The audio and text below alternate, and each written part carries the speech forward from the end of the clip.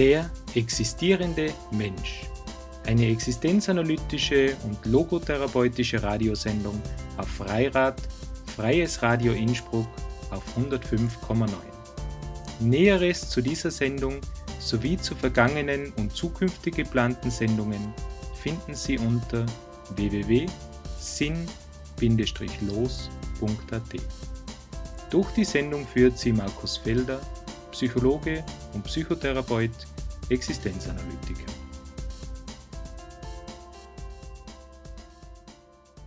Sendereihe Der existierende Mensch. Ich habe vor, diese Sendung monatlich auszustrahlen hier auf Freirad 105,9. Ausgestrahlt wird diese Sendung jeden ersten Donnerstag im Monat von 20 bis 21 Uhr. Es handelt sich um eine Live-Sendung, beziehungsweise habe ich geplant, diese Sendung als Live-Sendung zu machen. Und wie Sie sich vorstellen können, ja, bei einer Live-Sendung kann es kommen zu dem, was es eben kommt. Das heißt, Fehler, Versprecher sind, glaube ich, an der Tagesordnung. Aber sie machen auch, glaube ich, so die Spontanität der Sendung aus und den Reiz der Sendung. Was auch immer wieder bei Live-Sendungen ist, dass man nicht weiß, was entsteht. Ich weiß es nicht und Sie wissen es nicht. Also lassen wir uns überraschen. Heute ist diese Sendung etwas verkürzt, weil davor immer Live-Sendung, wie Sie gehört haben, vom Internationalen Filmfestival Innsbruck gelaufen ist.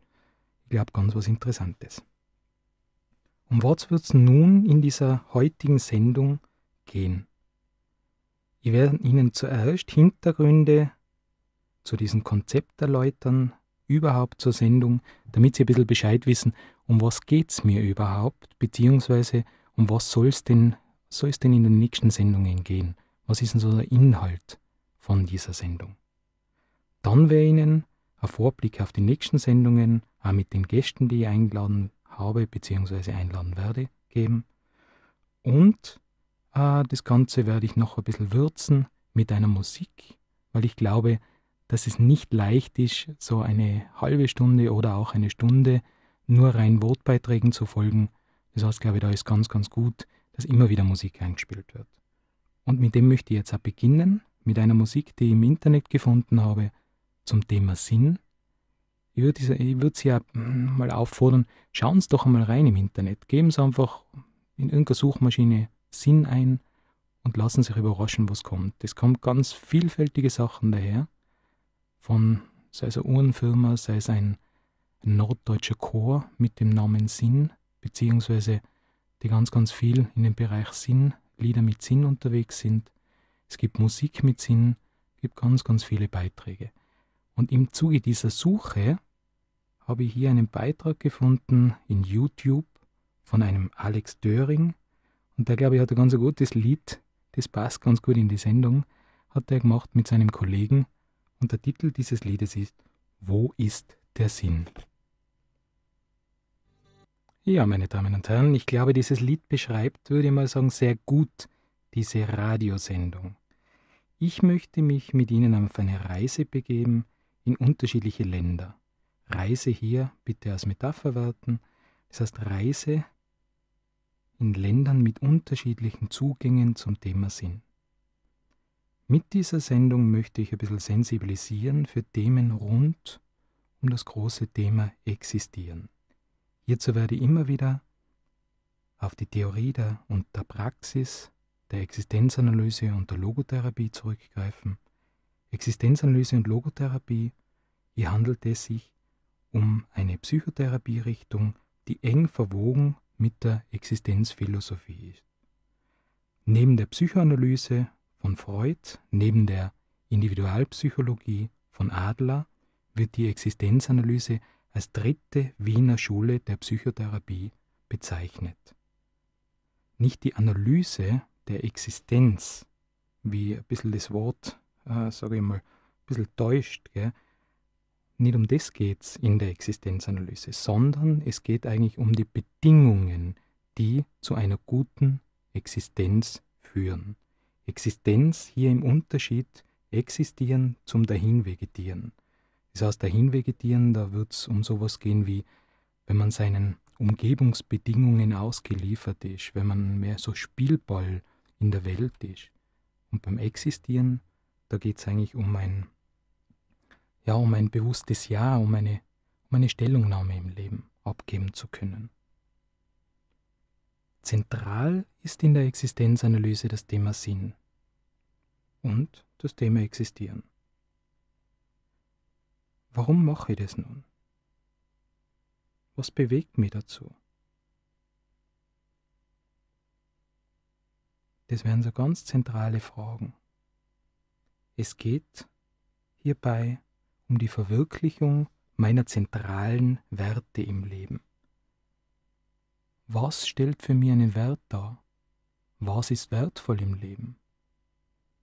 Das wären so die Fragen, um die es geht.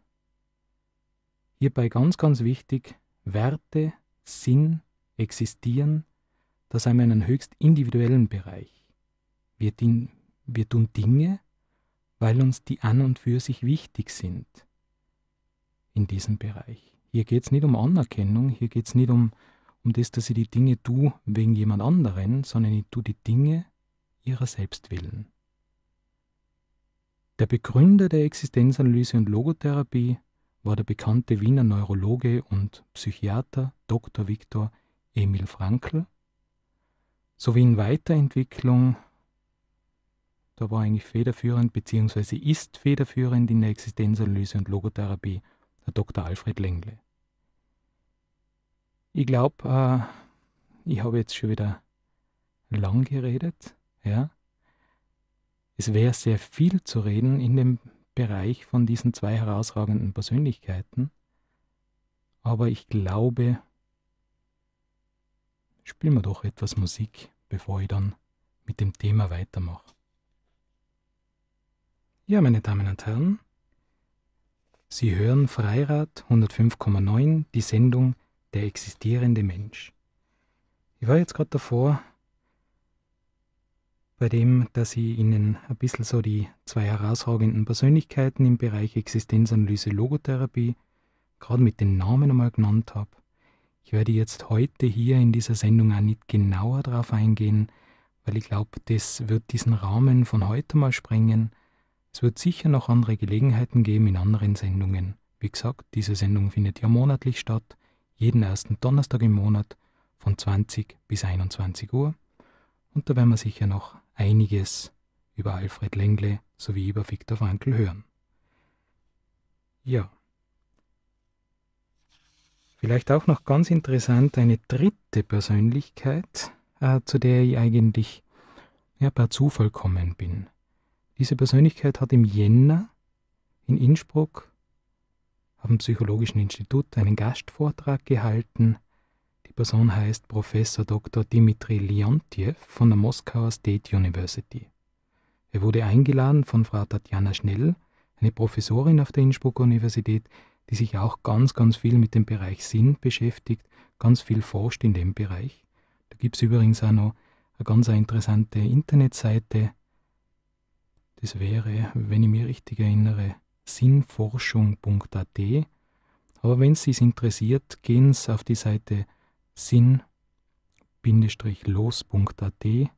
Da wird sicher dann in nächster Zeit einige Links drauf kommen zu dieser Sendung, auch zu nächsten Sendungen, dass Sie einfach wissen, um was geht es dann in Zukunft, beziehungsweise wo seien denn interessante Adressen, die sich mit dem Bereich existieren oder mit dem Bereich Sinn beschäftigen.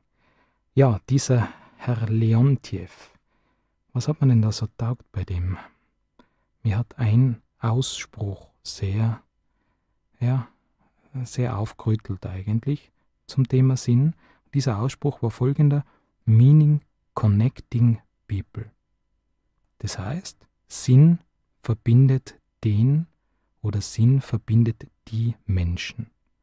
Das heißt, der Sinn ist das, das uns entweder mit unseren inneren Werten verbindet, mit dem, was uns wichtig ist, oder das uns mit der Welt, mit dem anderen, mit dem Du verbindet. Also auch in diesem dialogischen Austausch entsteht Sinn, beziehungsweise würde ich sogar sagen, nicht auch, sondern dieser dialogische Austausch mit dem Außen, mit dem anderen, mit der Welt, das ist irrsinnig wichtig, beziehungsweise ohne diesen Austausch kann Sinn gar nicht erst entstehen. Hierzu vielleicht da ganz, ganz interessant, wenn man Frankl näher anschaut, näher liest, spricht er immer wieder von drei Prachtstraßen zum Sinn. Drei Prachtstraßen, wie er es nennt, wo man eigentlich äh, Sinn auffinden kann.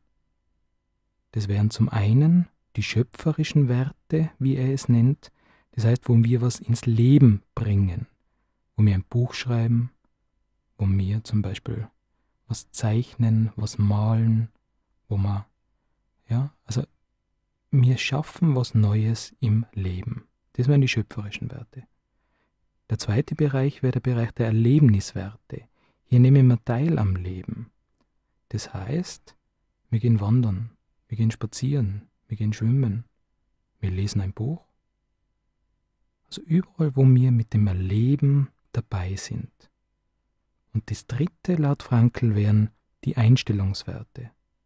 Das heißt, wie er schreibt, wenn schöpferische Werte nicht möglich sind und Erlebniswerte auch nicht möglich sind, zum Beispiel aufgrund von einer Erkrankung oder wie er es zum Beispiel an seinen eigenen Leib und an seinen eigenen Psyche erlebt hat, er war ja Jude, ist dann in das KZ hineinkommen und wie man sich vorstellen kann, gerade im KZ drinnen sind gerade Erlebnis und schöpferische Werte sehr, sehr eingeschränkt. Worauf er zurückgreifen hat können, sind die Einstellungswerte. Einstellung zum Leben. Einstellung zu dem, was mir wichtig ist. Ja? Ich würde mal sagen, wie man da auch sieht, wie man auch aus den anderen Liedern gehört hat, gell, aus dem ersten von Alex Döring, aber auch aus dem zweiten Lied von Reinhard May, es gibt ganz viele verschiedene Sinnquellen. Frankl hat drei genannt. In der Forschung, wenn man reinschaut, sind noch viele, viele andere Gebiete, viele andere Bereiche drinnen. Wichtig hierbei ist, individuell jene Sinnquelle zu finden, wo man eigentlich gut andocken kann. Aus der Forschung sieht man, dass mehr Sinnquellen besser sind, als wie zum Beispiel nur das Zentrieren auf eine Sinnquelle. Was man auch immer wieder findet, uns zu engagieren, uns für etwas Größeres zu engagieren, zum Beispiel im sozialen Bereich, wären auch, sage ich mal, Wege zu Sinn zu kommen, Sinn zu finden. Ja? Hierbei ganz, ganz wichtig, ich kann ihn eigentlich nicht direkt intendieren, ich kann ihn nicht direkt machen, den Sinn. Ich kann nur Bedingungen schaffen, damit sich dann der Sinn einstellt.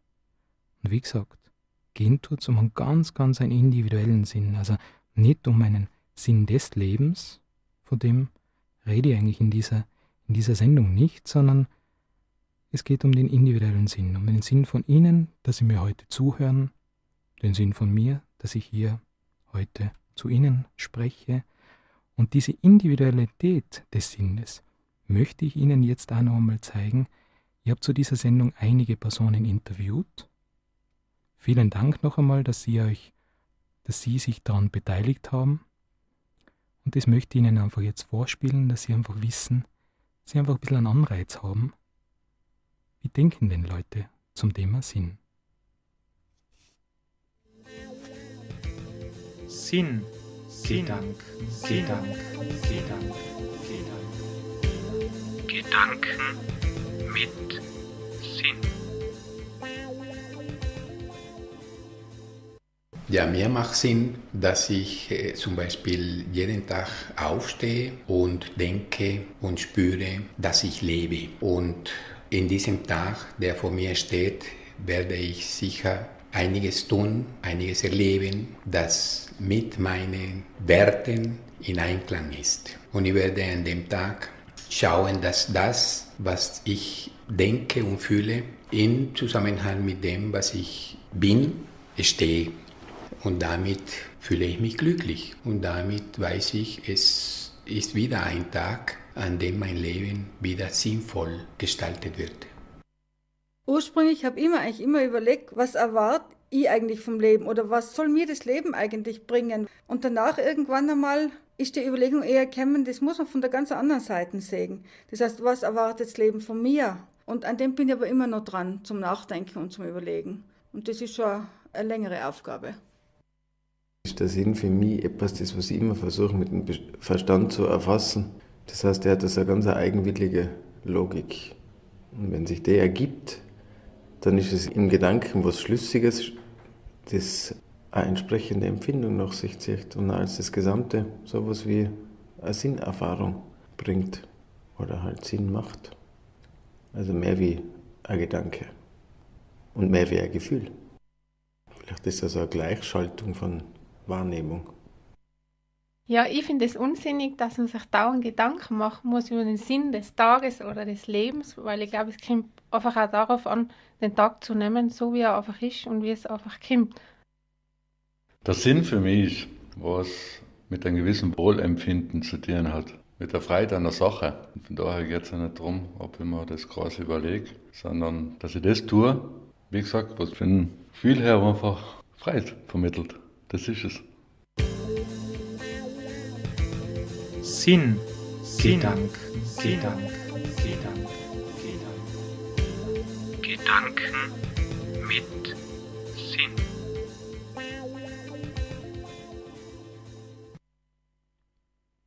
Ja, meine Damen und Herren, Sie hören Freirad 105,9, die Sendung Der existierende Mensch. Wie Sie gerade gehört haben, die Zugänge zum Sinn sind unterschiedlich. Ja?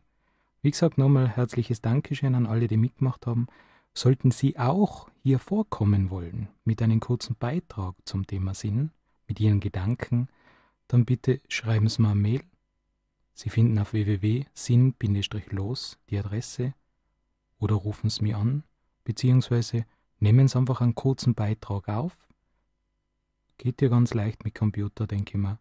Schicken Sie mir, ich schneide ihn dann, ich gleiche die Höhen an, also von dem her kein Problem. Schicken Sie mir's. Ja. Die nächsten Sendungen werden, wie gesagt, jeden ersten Donnerstag im Monat von 20 bis 21 Uhr stattfinden. Es werden ganz interessante Sendungen sein. Ich habe sehr, sehr viele verschiedene Persönlichkeiten einladen können. Vielen Dank dass Sie mitmachen bei der Sendung. Es wird zum einen um intuitives Bogenschießen gehen, es wird zu Sinn in Märchen gehen, es wird um Sinn Bereich der Mundartdichtung gehen, es wird um Sinn in einem Hilfsprojekt gehen in Afrika bzw. in Kambodscha. Also von dem her lassen sich überraschen. Ich glaube, es wird ganz interessante Radiosendung werden. Ich wünsche Ihnen einen sinnvollen Abend. Es hat mich sehr gefreut, mit Ihnen ja, mich zu unterhalten, wenn man so sagen will, beziehungsweise werden wir vielleicht schauen, dass wir in, nächste, in nächster Zeit bei den nächsten Sendungen dann wirklich Unterhaltung einbauen können. Vielleicht schalte ich ja da das, das Telefon, was da ist, dann ein, dass Sie mich anrufen können und direkt dann in die Sendung kommen und mir dann wirklich in einen Dialog treten können. Die nächste Sendung wird stattfinden am 5. Juli von 20 bis 21 Uhr, hier auf Freirad 105,9. Näheres unter www.sinn-los.at. Vielen Dank, dass Sie zugehört haben.